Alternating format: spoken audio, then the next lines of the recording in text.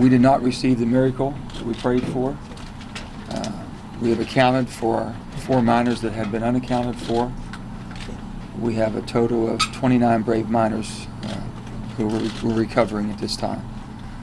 Uh, we had been spending time with the family, as you can tell.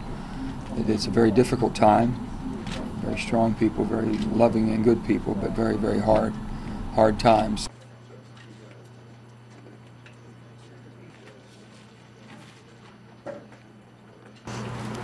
Families are, I guess, have closure, but it's pain's still there. It won't go away.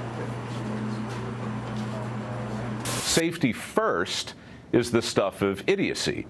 It allows us to begin to believe that somebody other than us might care more about our well being than we do. And the minute we buy into that nonsense, Yes. then we embrace the warm grip of complacency. So, no, safety is not the enemy, but if you make it the priority, then let's just wrap ourselves in bubble pack and drive at speeds approaching five miles an hour and never assume anything that could ever be confused with risk. when you work for, for coal companies like this, you you don't have no right. They, they tell you either do it or you're fired. You don't you don't have no rights when you when you're with the uh, company you know, it's, it's non-union. Your voice don't mean nothing. You can't say no. If you say no, they say hit the road. If you can, put yourself in the chair of the person considering hiring you Yeah. and say to them exactly what you would want to hear if you were them. Hi, it's great to be here. Here's the deal uh, I will be early every day, I will stay late every day. I will ask you what I can do every day to make your life simpler. If there's a difficult task, I will volunteer to do it. I will do so cheerfully. coal mines, all they think about is money. I'm gonna say it this way. What the mine inspectors and staff, they get paid off. See, they, they don't, uh, they just do what they tell them to do. What comes before safety? What are the two things? You get to fill in the blanks. Yeah. Personally, I would put uh, money and um, I guess it's getting the job done. Some of the violations that he gets by with just unreal. Some things I've seen is unreal. Some of the conditions he puts his men in is just unbelievable. You just have to be there to even know what some of these men go through every day just to make a living. I've seen mine inspectors write him up before and he just gets by with it. And he made a comment, supposedly, that uh, it's cheaper for him to pay the violations than fix the problems. The cost that comes along with, ex- with, with letting somebody else assume responsibility for your safety, the cost is incalculable.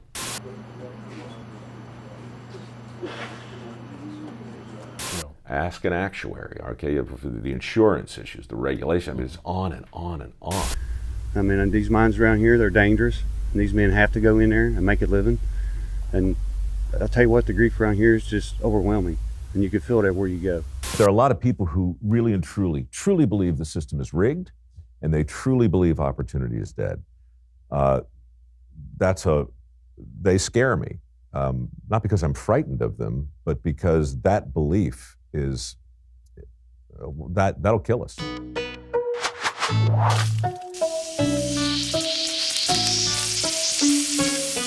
Most people probably don't think about Mike Rowe, but since the end of his show Dirty Jobs in 2012, he's started a foundation, testified before Congress multiple times, and made regular appearances on both the conservative corporate and boring corporate ends of the talking head circuit. In that time, he has remained remarkably consistent in his messaging. There is a skill gap in America. He usually accompanies this with a Joe McCarthy style recitation of employment numbers. 5.6 million jobs. There are 7 million jobs available right now. There were 2.3 million jobs, according to the feds, that existed at that point in time. College ain't for everyone. Um, we have uh, 75% of those jobs that don't require a four year degree. And yet, we're still pushing the four year degree as the best path for the most people. Be subservient to your employers. Don't complain. Ever. It's not just about determination and persistence and discipline. It's not just about holding your nose and getting through it or sucking it up or, or never quitting. It's also about finding a way to genuinely enjoy the task at hand. I believe the most annoying sounds in the world are whining and complaining. I'll never make them. And if I am unhappy in my work, I'll either find a new job or I'll find a way to be happy. Don't expect anyone else to watch out for your safety. That's too expensive for your employers to have to pay for. What if OSHA got it wrong? I mean, I this is heresy what I'm about to say, but what if what if it's really safety third? Right? He has codified this pro billionaire, pro entrepreneur, faux working class moral philosophy into what he calls the Sweat Pledge, a set of ideas that you have to agree to if you want access to a comically small amount of money. They're not big allotments. You know, it could be anywhere between two and fifteen grand, depending on the on on the applicant. Which can only be used towards certain vocational training programs, which Mike Rowe himself has assented to. In this video, I want to go over where Mike Rowe gets his bad ideas from, some of his worst ideas and why they're so wrong, some other stuff he's wrong about, and maybe, if we have time left over, some footage of puppies. It's, it's, it's, it's, it's so much more in- interesting to understand why you believe what you believe than it is to hear about what you believe. The first thing you need to know about Mike Rowe is that the man who said this Never follow your passion, but always bring it with you. He is terrible at taking his own advice. He's an actor, a job that you only ever get by following your passion instead of being practical. And even though he rails against four year colleges, he'll be the first to admit that My liberal arts degree served me really, really, really, really well. he likes to square this hypocrisy in the same way that John Wayne squared being a draft dodger by massively overcompensating. So we make a bigger fire, you know, come back with a bigger carcass, Right. you know, feed the girl, Build a bigger train the house. kid, bigger house. He claims that while he worshipped his blue collar grandfather as a child and wanted to grow up to be just like him, he just didn't quite have the knack for filthy plebeian work and was forced to resign himself to being a multi-millionaire pitchman instead. People who see dirty jobs figure I'm like Bob Vila or like Right. Joe Handy. I'm not. That's a uh, that's a recessive gene. Sure. right? And and my grandfather, who got it in spades, was sort of uh, an, an idol of mine growing up. So I very much wanted to do what he could do, which essentially was build a house without a blueprint. Right. Right. Ooh, that's impressive. Well, he, he only went to the seventh grade, and I just always assumed that's what I would do, and I and I just didn't get the gene. And then when I got so frustrated that I couldn't do it, it, it was my pop who said, "You know what? You can be a tradesman if you want. You just need a different toolbox."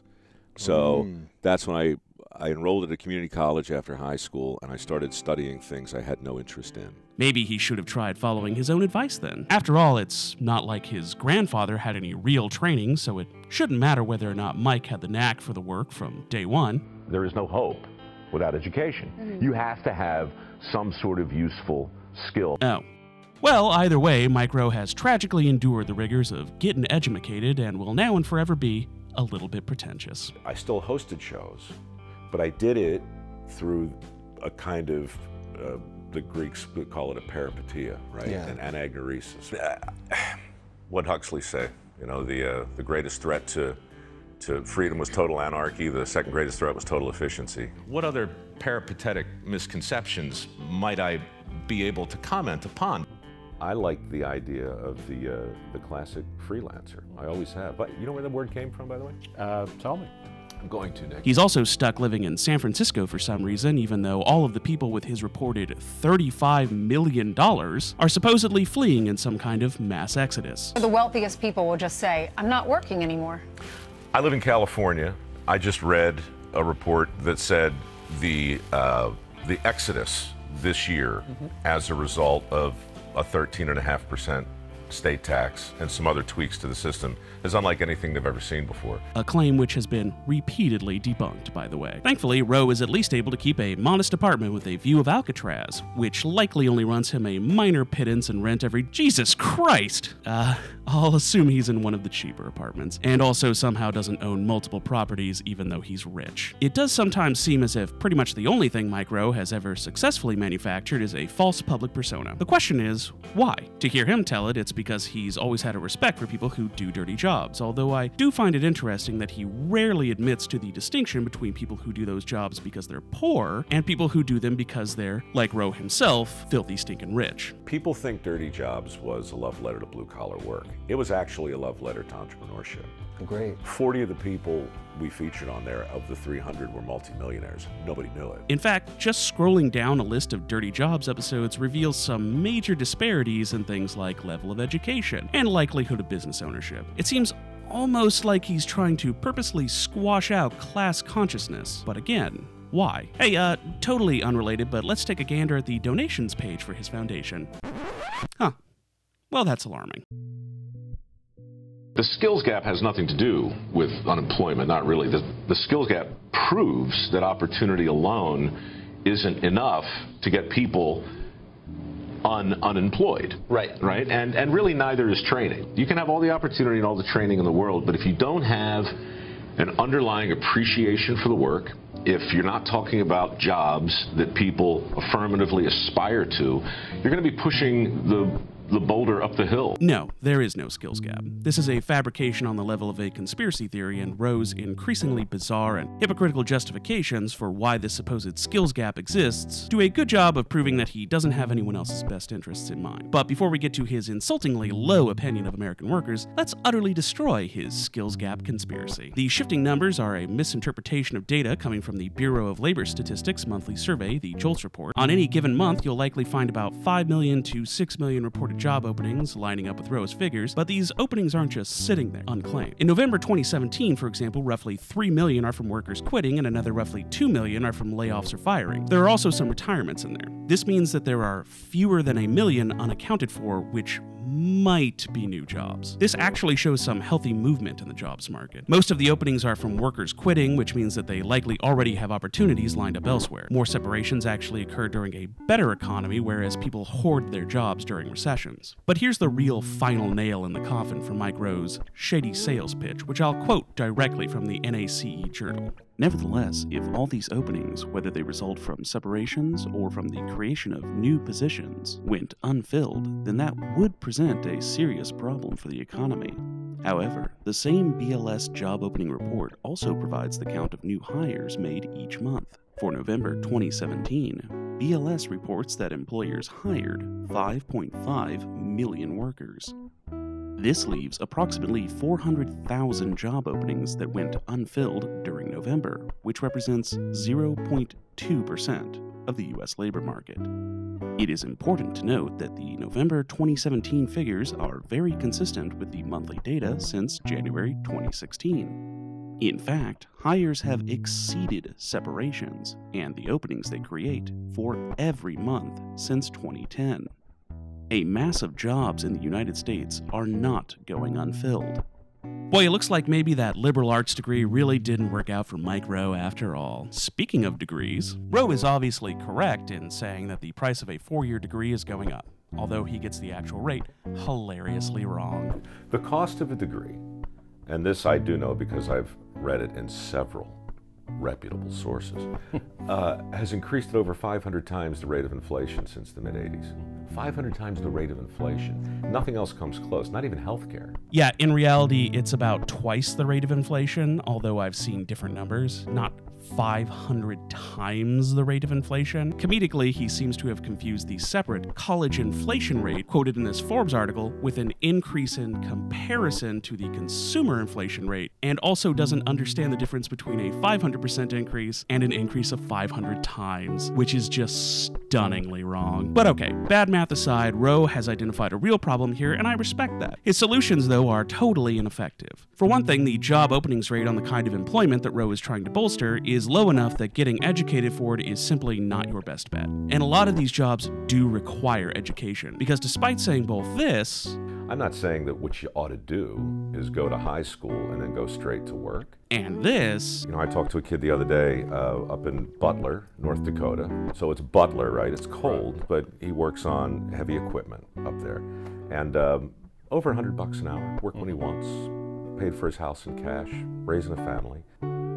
Know, is it better right now today to have 140,000 in debt but a degree from Georgetown mm-hmm. in law, or is it better to be that kid I described up in Butler? Rowe is somehow wrong about both. Being a welder is definitely a job that you need a real education for in most instances, and there are low-skill jobs available right out of high school, like construction and retail. They suck, and you should leave them as quickly as possible if you get trapped in them, but they are available without going to a trade school. This is the dichotomy that most people people understand implicitly and which Rowe is pretending doesn't exist. Bad jobs for people without educations and good jobs for people with them. The numbers bear out in that direction, with even the availability of work increasing with higher degrees of educational attainment. Look, I want to be clear about something here. There's nothing disrespectful about taking on a dirty job. Somebody does have to do it. But one, a lot of service and retail jobs, which Rowe doesn't care to talk about, are also dirty jobs. And two, people are more complex than this. You can get a job right out of high school, then go to a trade school, and then later get a bachelor's or master's degree. If Mike Rowe really believed in what he was saying, if he was really out there to help people, then he'd be for free college for all. Oh, wait. So 60, 70 grand a person, that's a personal tragedy. But add it up, it's 1.6 trillion right now.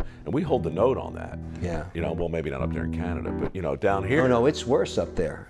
It's basically education's free up there, but you're paying for it as a taxpayer. How's it? free? Not, nothing is free. Exactly. Well, good news, Mike, because actually, free college would be cheaper than paying for our current system. Partially because private schools, which quite a lot of vocational schools are, are a major drain on society. Not only do private school students tend to have more debt, but they cost the taxpayers more. Meanwhile, they suck. In fact, it turns out that at least one of the Trump administration's accredited private universities was just a big old scam and doesn't even serve any students. Nothing's free except for conning money out of the average American's pocket, right, Mike? By the way, since we're chatting, Michael Rosef, do you remember that one time that you called Bernie Sanders a knucklehead for pointing out that college helps keep people out of prison? Well, as it turns out, you are the finger jointed cranium haver. Man, it'd be really nice if you could do even the most basic amount of research. It just really feels like you're not bringing your passion with you on this grift of yours, you know? By the way, I remember that not long ago there was an issue in the state of California in which the online college was being rolled out amidst multiple complaints. One of which was that at an actual physical campus, services could be provided which were unavailable elsewhere. For example, homeless students, real human beings that Mike Rowe doesn't seem to care about, could sleep in their vehicles at an actual campus. There's even a bill being worked on, AB 302, to write this ability into law. I thought about that story while doing research for this video, because as it turns out, in 2017, the president of a Vatterott College location was fired for allowing a homeless student shelter in negative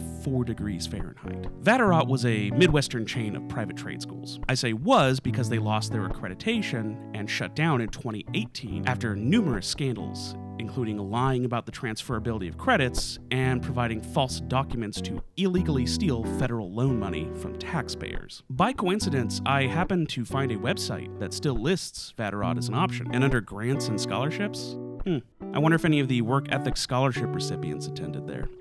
Well, to me, it's it's either it's it's uncertainty. We used to look at uncertainty as this thing that was similar to variety, right? It's like Yeah. I don't know what's going to happen next. And so, you know, whether you're reading a book or watching a movie or taking a trip, not knowing what's around the corner used to be part of the fun of it. Now, it's stress inducing and and and and heavy with potential trauma right? So that that's I'm not a social anthropologist or a shrink, but that strikes me as something that's that's really fundamental. We've we've we've arbitraged the fun out of uncertainty. Having to choose between paying your medical bills and paying for your children's school supplies is not a fun journey, Mike. I know that you're a millionaire because of the hard work of the Screen Actors Guild, that union you belong to, but the rest of us have been watching our wages stagnate and inflation go up for decades. But hey, thanks for insulting us, real Americans. Clearly, we're all just lazy jerks who need to really appreciate our bourgeoisie owner class. It's not just a skill gap, it's a will gap. My town can't die. My job can't go away. I had it and now it's gone. And so, timeout, party foul. Hey, wait a minute, that's not what you said on NBC. There you just pivoted like a hypocrite because you were more interested in enjoying the nauseating praise of your neoliberal compadres in capitalism. I was talking to a guy that runs a, a fast, pretty fast-growing manufacturing uh, thing, and he, and he had this to say to me about the whole exercise of job retraining and what it means for somebody in their 40s. Take a listen to this, Mike. You've been out on this floor doing skilled or semi-skilled work and you're 40 years old, you don't want to go do a computer-based job. You want to make things. And so that's part of the problem. You can have thousands of really good training programs, but the training needs to be the vocational, and then there has to be the job opening. We, always focused on job retraining and it's always about computers. It's always about, uh, when it's skilled labor, it's always about engineering and different things. Nothing wrong with that. Yeah. But it's almost as if we're saying, no, those other jobs, they're, they're, they're going away and it's okay that they go away. Well, some people want to want to touch things. People ask me all the time, you know, what's the what's the big takeaway from that show? You know, and and there were many, but the for me, the thing I keep coming back to is the idea that as a group, there was a level of job satisfaction that uh, was undeniable and surprising. I think what you showed a certain way was that there's dignity that these people feel toward their jobs. Job is much more than just how you pay your bills and what you're doing for your family and what kid can go to college. It's what you feel when you go to work every day. Yeah. You think they'll ever uh, ask him about statements like this? Hey, Mike, have you combined with the White House at all? Because it seems like Ivanka has the same lines you have about learning a trade and learning a skill. Have you been in contact? Yeah, we have. And I'll tell you the bottom line for me. After 10 years of doing this, my foundation's modest. We've we've raised about 5 million dollars for work ethic scholarships. And it's true. There we we are aligned in a lot of ways, but look, you guys know it as well as anybody. If I put the red hat on, half the country isn't going to hear me. Nah. By the way, since I know you read Forbes, and since you only care about money, here are some statistics on what your attitude is costing us. But hey, like you say, happiness is a it's a it's a terrific symptom. It's, it's a terrible goal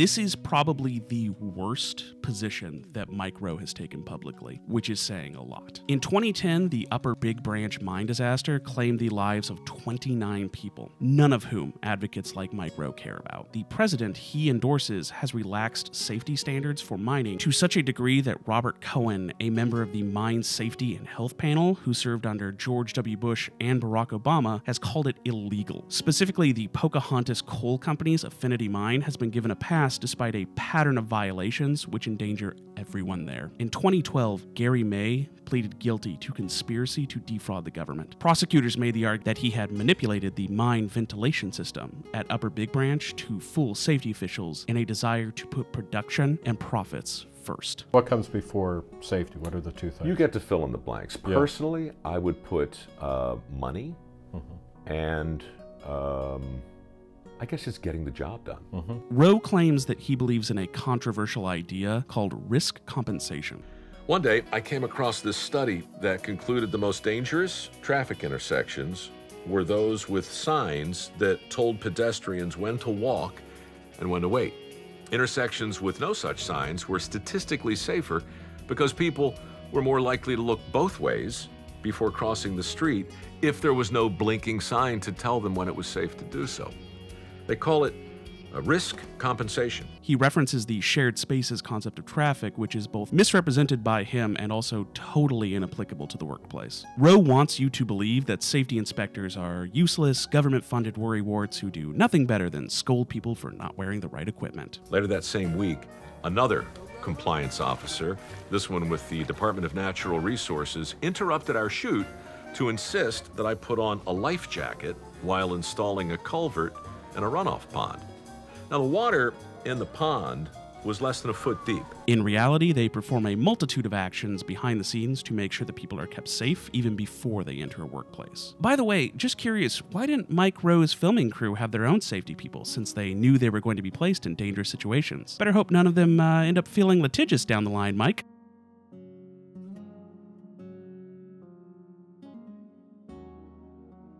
Let's talk about those millionaires that Rowe loves so much. Entrepreneurship is, at best, a shaky premise for a career. The Bureau of Labor Statistics indicates that among private sector businesses launched in 2013, fewer than half survived into this year. On the other hand, the average benefits of a four year degree are obvious and substantial. According to a study by Business Insider, while skipping college may seem like a cheaper option, data suggests earnings for college graduates far exceed wages for those with less than a bachelor's degree. Even in North Dakota, the state with the least difference in earnings. Mike Rowe doesn't like guidance counselors for some reason. Guidance counselors in high schools now, in many cases, are, are evaluated and comped based on their ability to help X number of students matriculate into a four year school. That's the goal. I have found nothing to support his claims about them being paid for suggesting four year colleges, and that doesn't appear to be how just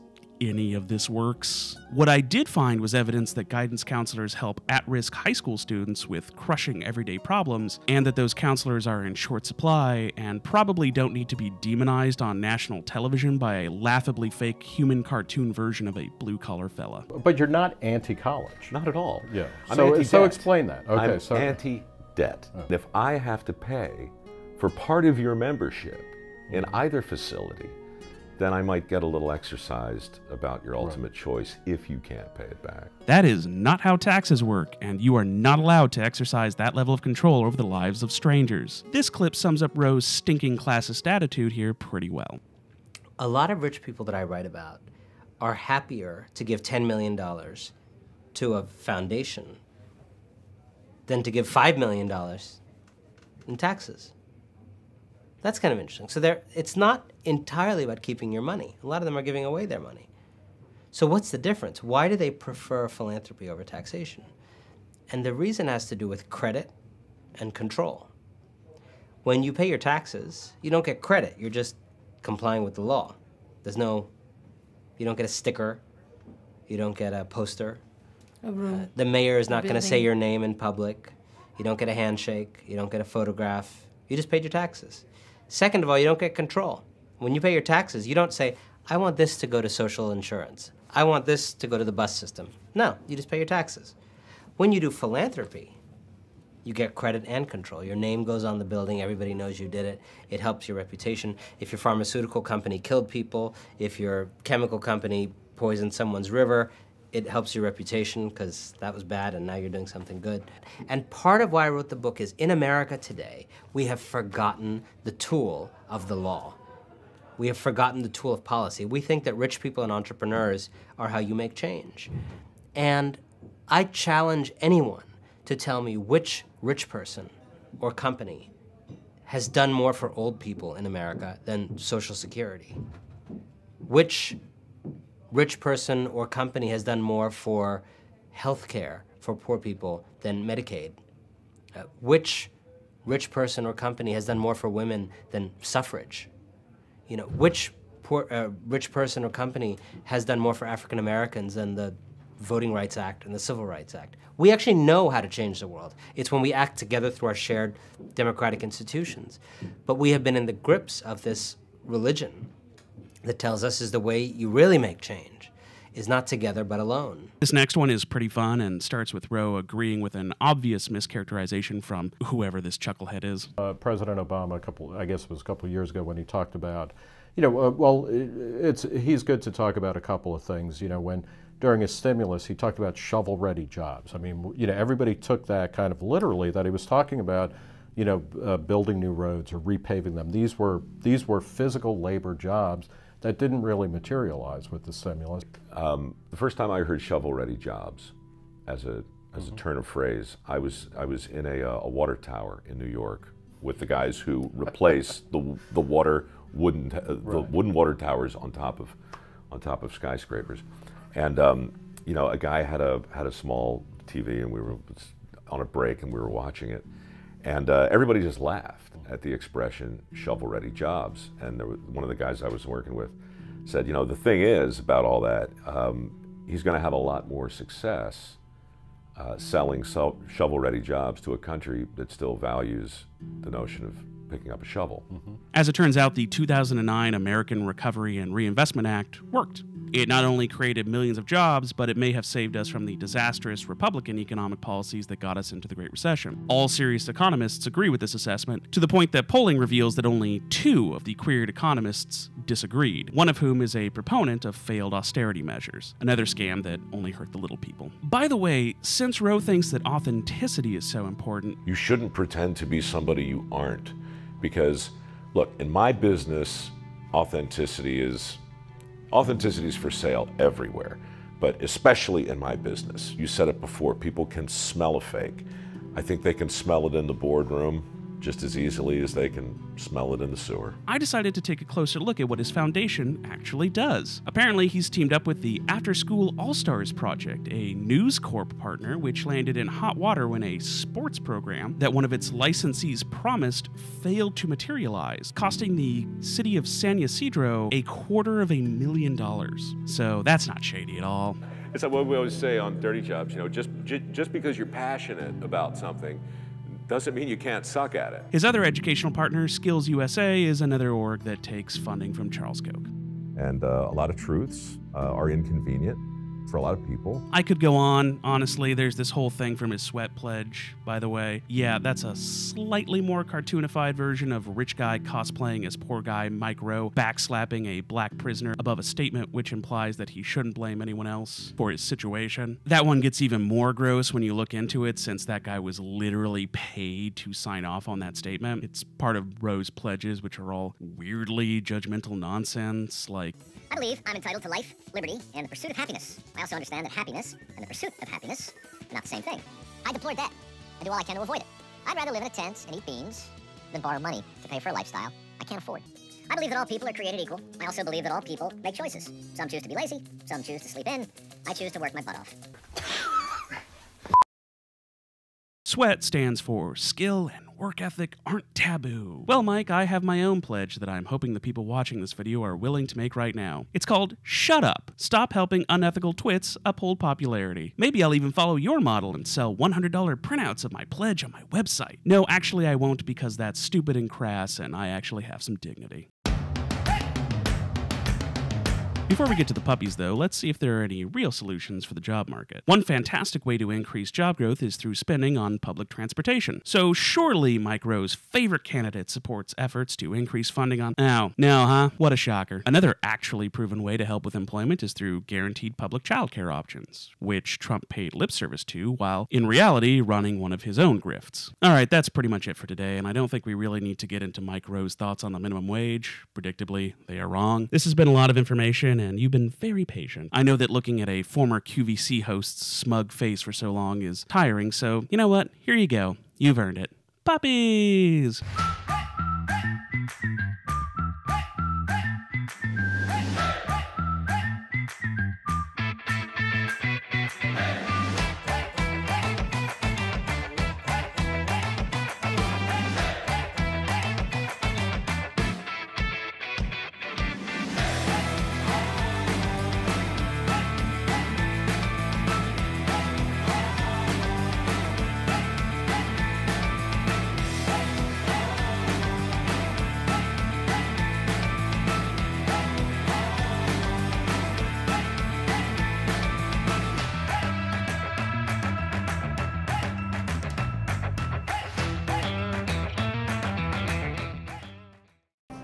Dirty Jobs isn't in production anymore. I'm working on something new, though, that I think could be just as good. Hey, that's great, Travis said. I got new legs, and you got a new show. Tell me all about it. I got new legs, and you got a new show.